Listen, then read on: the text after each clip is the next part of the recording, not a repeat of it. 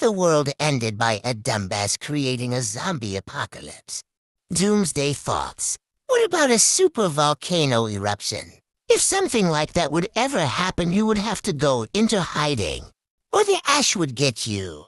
Anyways, I'm too lazy to give off more facts, but if you have any ideas how the world might end, please tell me in the comments box.